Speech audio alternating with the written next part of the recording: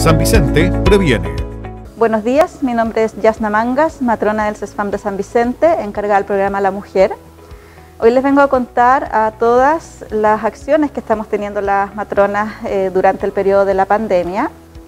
De forma presencial hemos mantenido los controles de embarazo, ecografías, las consultas ginecológicas que se reciben de lunes a viernes a las 8 de la mañana, ya eh, también se ha mantenido el acceso a la toma del examen de PAP, eh, la toma de mamografía en pacientes de, riesgo, que son principalmente las usuarias desde los 50 hasta los 64 años.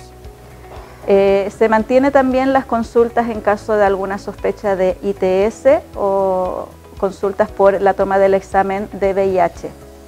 ¿Ya? Lo que hemos suspendido son los controles ginecológicos y los controles de regulación de fecundidad. Sin embargo, las usuarias que tengan como método anticonceptivo eh, pastillas o inyecciones, se les está renovando la receta de forma automática. En la fecha que a ustedes les corresponda retirar nuevamente una inyección o un anticonceptivo oral, simplemente se tienen que acercar al CESFAM o a su posta y se les va a renovar la receta de forma automática.